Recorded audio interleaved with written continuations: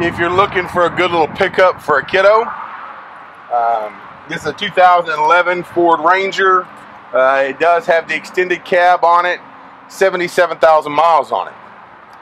Great, great, great condition. It was traded in, looked just like that when it was traded in. We haven't detailed it, we haven't cleaned it, we haven't nothing else.